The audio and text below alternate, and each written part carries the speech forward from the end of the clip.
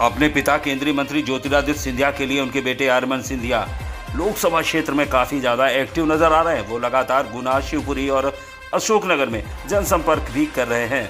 सोमवार को बामोरी पहुंचकर उन्होंने युवा संवाद में तमाम लोगों को संबोधित किया। वहीं आरमन सिंधिया ने अपने भाषण में कहा कि आज प्रधानमंत्री नरेंद्र मोदी के नेतृत्व में देश के युवाओं में नया जोश आया है। आरमन सिंधिया का बीती रोज की ही तरह एक अलग रूप बामोरी में देखने को मिला जब कार्यक्रम के बाद उन्होंने बामोरी की जनता के लिए खुद अपने हाथों से खाना परोसा।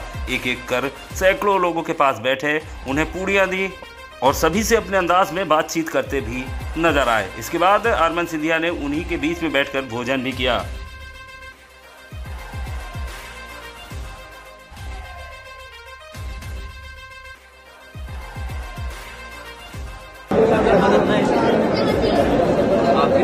लाना है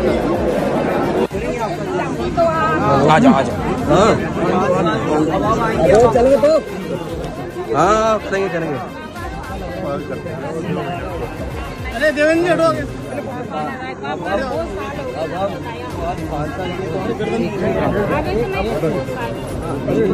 जल्दी क्या हम यहाँ नहीं थे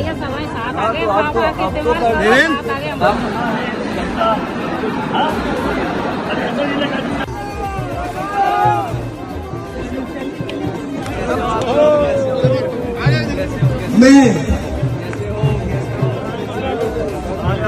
सभी सभी कार्यकर्ता बंधुओं से अनुरोध करूँगा।